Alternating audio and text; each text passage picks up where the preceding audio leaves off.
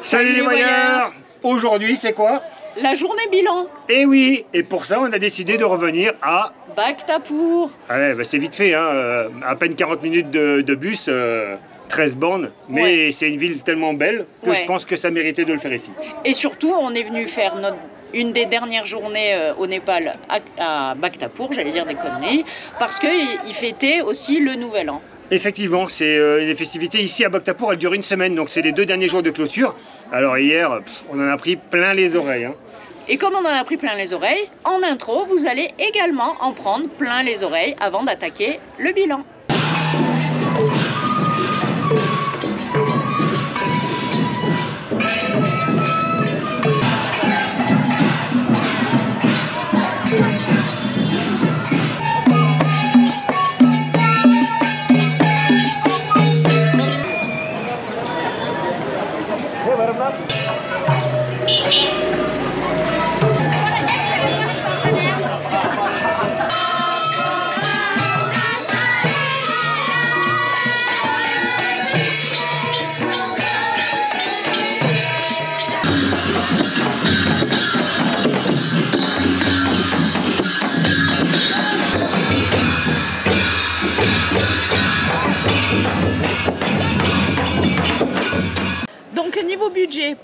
Pour 52 jours passés au Népal, Ça va nous coûter 1291,50 euros.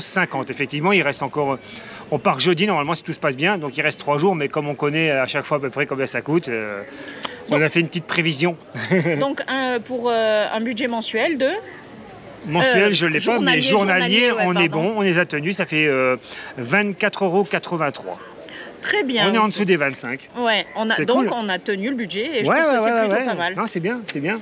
Donc on peut attaquer avec les logements maintenant. Bah ouais. Allez, bah, Alors, les logements. Les logements, donc ça nous a coûté un total pour ces 52 jours de 607 euros. Voilà, ça fait une moyenne de 11,50 euros la nuit.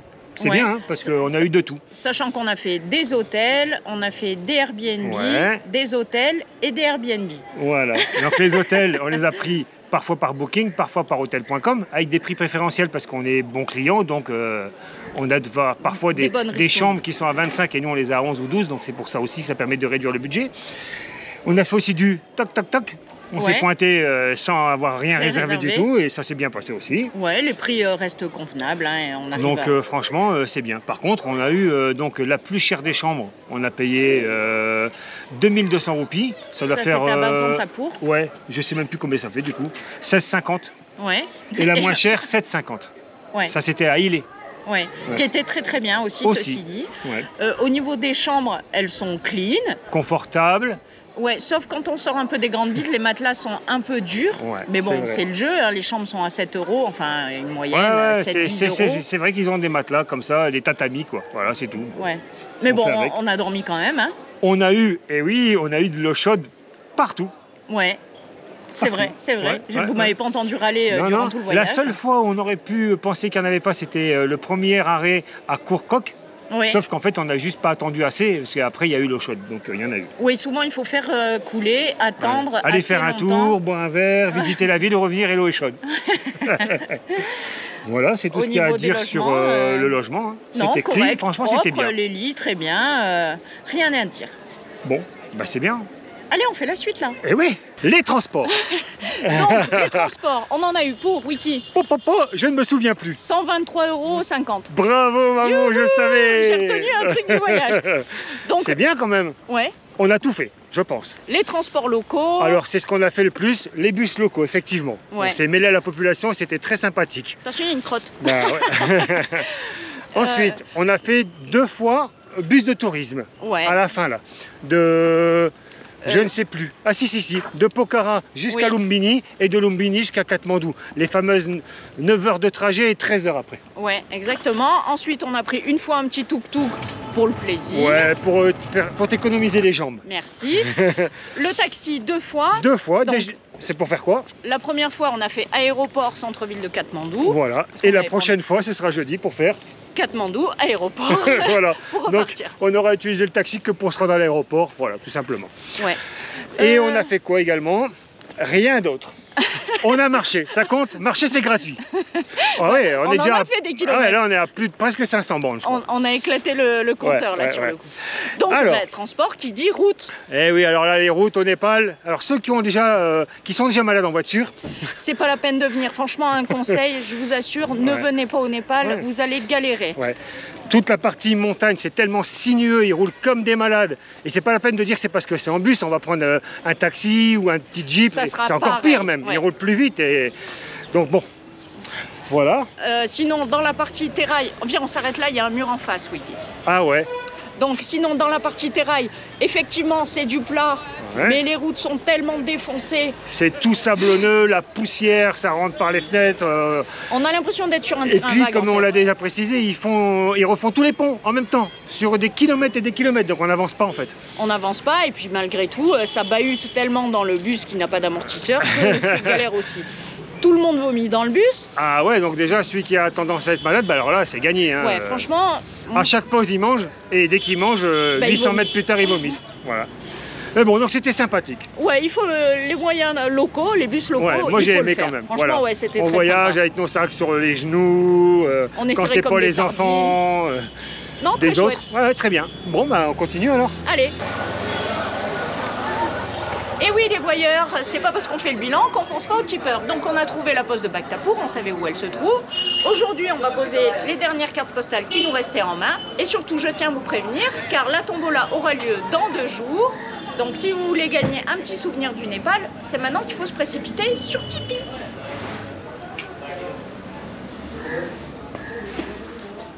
Allez, un sujet important pour nous. Oui, euh, la carte téléphone qui nous sert téléphone et internet. Bon, téléphone, aucune utilité. Non, pour nous, non. On achète une carte, c'est juste pour Internet, bien sûr. Donc on a acheté nos cartes euh, directement à l'aéroport. Effectivement, en arrivant. Ouais. Ouais, L'opérateur c'est Encel. Bien, mon amour. Très bien. Une carte nous a coûté 16 euros par carte Ouais. pour 50 gigas de Et- données. Voilà, et pour trois mois.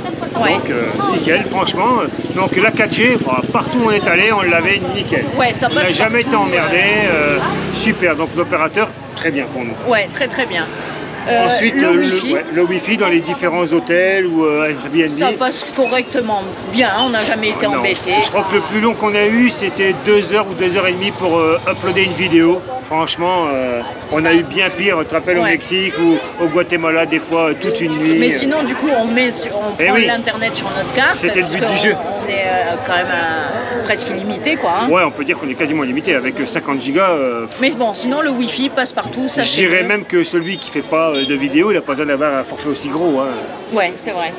Ah, c'est un petit truc.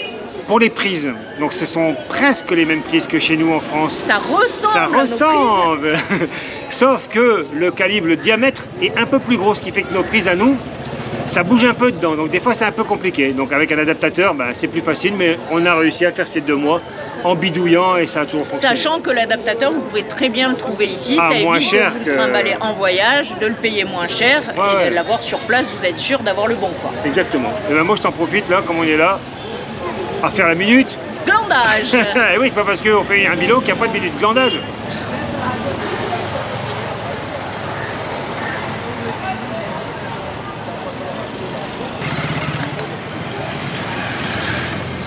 Un sujet rapide. Le euh, budget, visite. visite. Donc euh, on a dépensé de l'argent, pourquoi essentiellement? Bah, Pour visiter des temples. Ouais. Et les Durbar Square, parce qu'on a fait Ouais. trois Durbar Square. Voilà, Patane. Patane, Katmandou Et, et, ici, euh, Bhaktapur. voilà. Et également euh, un peu de bateau à Pokhara. Ouais. Voilà. Lumbini, le parc Lumbini aussi, voilà. Et oui. Donc, en gros, ça, ça c'est ça. Après, il y a un ou deux tables, on paye une brouette. Ouais, euh, ouais, ouais. Bon, voilà, c'est tout. Pas grand chose de plus. Bon, écoute, c'est bien, non 126 euros seulement ouais. On vous fait une. On leur montre quand même derrière, c'est beau. Hein. Bon, ouais, je crois qu'ils voient un peu les marges déjà, là, non? Eh, radin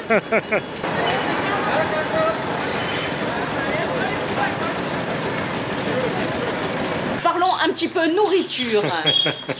Ça, ça, ça te plaît, ça hein Ouais, donc le budget total, nourriture. On a dépensé 322,50 euros, ce qui fait euh, un tout petit peu plus de 6 euros euh, par jour pour nous deux.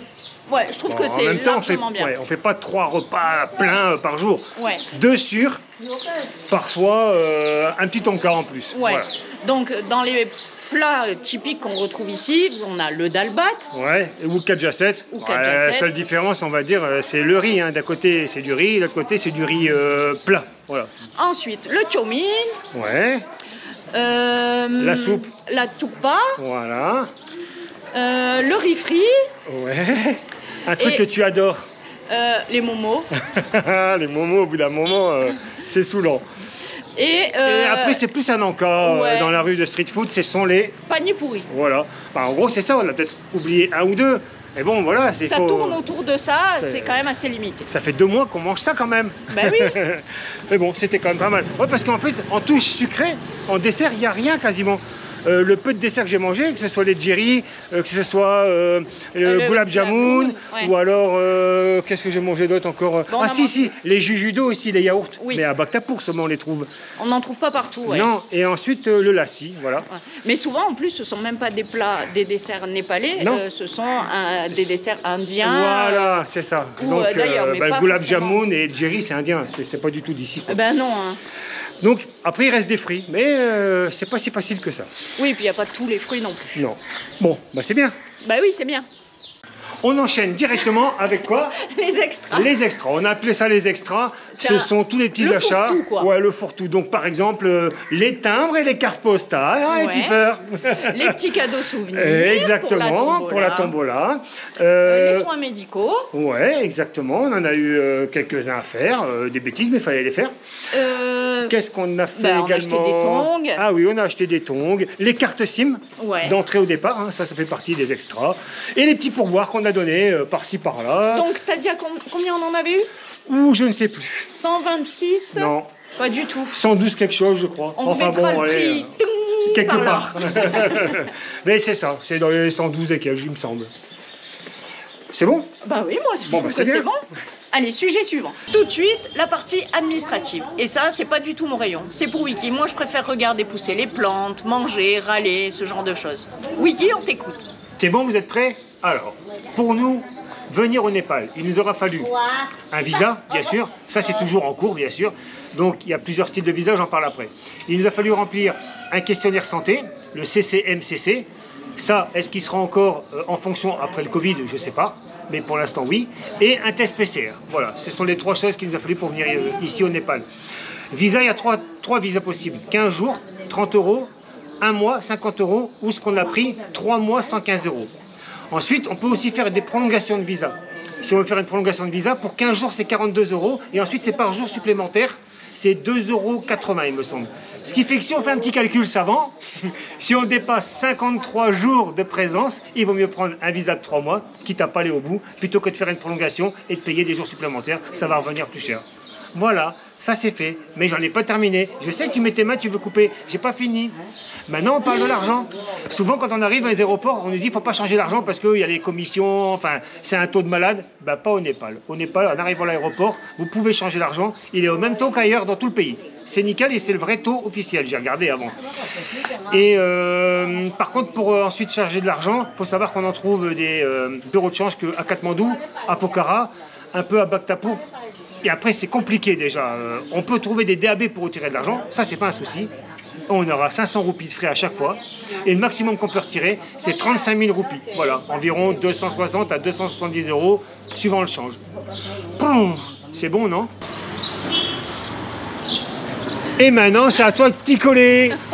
Donc, il m'a dit tiens, mets-toi au soleil, tu vas être bien pour parler. Donc, ça va être super rapide. Moi, je voulais vous parler de l'accueil des Népalais et des chiens. Salut le chien Donc, et oui, il veut des câlins.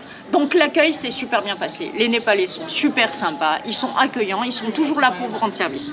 Au début, ils sont un petit peu introvertis. Et quand on engage la conversation, hop, ça va mieux, toujours présent. Au niveau sécurité, rien à dire, aucune insécurité. Le soir, dans les petites rues, le matin, franchement, nickel, tous auto, rien à dire. L'heure Voilà. de la fin a sonné, Ouais, il est temps de faire les j'aime, j'aime pas. Je vais commencer les immédiatement. plus et les moins. Ouais, mais ça n'engage que nous, une fois de plus, il y en a qui aiment ça, d'autres qui Ah n'aiment oui, pas. oui, ben, on- nous on donne notre avis. Et un avis, souvent, il est personnel. Exactement. Donc-. Donc, moi, ce que je n'aime pas, c'est la pollution. Les déchets partout, euh, c'est insupportable. C'est dégueulasse. Ouais, d'accord, ok, Ok. très bien. Et tu vas faire quoi pour changer ça? Ben rien. quand j'ai un déchet, je le mets à la poubelle à côté de ça, j'aime pas, j'ai pas... J'ai pas le choix, on va dire. C'est comme ça, effectivement. Euh, moi, c'est. Bah, moi, non, je m'en fous un peu en fait, mais il fallait bien que je dise quelque chose. Et il crache à longueur de journée. C'est un truc de fou, c'est des palais. En permanence, ils crachent. Les hommes, les On femmes. On n'entend que ça. Vous voulez un petit. Euh, à longueur de journée, toutes les trois minutes, on entend ça. Hommes, femmes, enfants, tout le monde. En fait, ils chiquent leur tabac, euh, entre autres, et la pollution fait qu'ils ne font que cracher. Bon. Mais bon, c'est comme, ça. Euh, j'aime, j'aime pas. Donc un point positif et négatif à la fois. La nourriture. La nourriture. la nourriture. On a découvert plein de spécialités. C'était très, très sympa. Très bien. Qui au bout de... le dalbat, ah ouais, c'est très très bon. Mais au bout de 15 jours, ça reste euh, toujours des momos, du dalbat. Ouais, voilà, c'est assez répétitif et c'est un peu pénible. C'est vrai, c'est vrai. Mais sinon, la découverte était sympathique. C'est de notre faute. On aurait pu couper, faire des intermèdes avec des pizzas margarita, des burgers, mais on n'a pas voulu. Voilà. On est ici, on mange local. Bah, Donc on s'en prend qu'à nous. Oui, nous on mange local deux mois. Les Népalais mangent local toute leur vie. Ouais, euh... on va pas se plaindre. Non. Ok, euh, autre chose, un autre point positif. Euh, J'aime beaucoup euh, l'architecture. Et pas monter dans L'architecture. Ouais. Magnifique. Superbe. Il faut, quand on dit en Népal, il faut faire les Durbar Square. Hein, les trois places principales. Patan, hein. Katmandou et, et Bhaktapur, ici. Magnifique. Et après, on peut quand même euh, s'évader et aller sur Pokhara. Le lac est quand même très très beau. Bien sûr. On peut aller faire un tour quand même du côté de Janakpur. On est près de l'Inde, à 15-15 km. On a donné les une autre ambiance. Voilà. Mais moi, j'ai surtout aimé me balader à l'est du pays dans la montagne, à Ilé, Bazantapur, Pakribas. C'est différent, c'était très bien. aussi. Donc tu aimes, moi aussi j'aime. moi aussi j'aime. On peut dire ça. Maintenant, euh... qu'est-ce qu'on n'aime pas alors ah, Vas-y, j'ai vu que tu regardais le cahier, attends, moi aussi. Euh... L'affichage des prix. oui, bien souvent, bien souvent, il mm -mm. n'y a pas de prix affiché parce qu'ils n'ont pas les moyens, enfin bah, on s'en fout. C'est toujours pareil, j'ai pas pensé, mais quand on va dans un restaurant correct, d'un certain niveau, il y a une carte avec des prix. Mais ouais. nous, comme on va dans les boui-boui, ben, il n'y a pas de prix. Souvent, il n'y a faut, pas de prix. Il faut demander avant, sinon il ben, faut s'attendre à ce que d'un seul coup, le prix augmente un petit peu. Ouais. Voilà, c'est... Bon, on négocie pas les prix euh, de la nourriture, non, euh, non. on accepte ou pas, tout simplement. Vrai. Moi, je sais ce que tu n'as pas aimé du tout. Ouais, vas-y. la garde d'Aran. Ah là là, comment ils ont essayé de nous Alors carotte. autant, je te coupe, autant moi j'ai trouvé euh, dans les points positifs la facilité des transports. En deux secondes, on monte dans un taxi, on monte dans un tuk-tuk, un, un, bus, tout, tout est facile. Ouais, ça se trouve facilement. Euh, sauf à Daran. Sauf à Daran. ils n'ont pas voulu qu'on prenne le collectif, mm -hmm. parce que nous on voulait faire donc du local ouais, collectif. Ils voulaient absolument nous fourguer dans le petit euh, taxi. Microbus comme ils disent, privé. mais c'est un peu plus cher. Et puis on est serré comme des sardines, on l'a fait qu'une seule fois. C'est surtout ce qu'on voulait pas faire. En plus, et ils ont insisté, ouais. donc on a été obligé de dormir une nuit à Daran. Et retenter notre chance le lendemain, on a réussi. En espérant que l'équipe avait tourné pour pas revoir les mêmes. Mais on a réussi quand même. Ouais, ouais. Donc voilà, c'était un petit peu le, le point noir. Je regarde un petit peu sur ce que tu as écrit. Ouais, euh, d'accord, ben, très bien. Je pense que c'est bon. Hein. L'accueil, on n'a rien à dire. Parce qu'ils sont ah, vraiment ouais, tous ouais, super ouais, sympas. Euh, voilà, il y a Kadaran où ils nous ont un peu cassé la tête, mais on venait de se taper euh, du bus, du bus, du bus, la chaleur.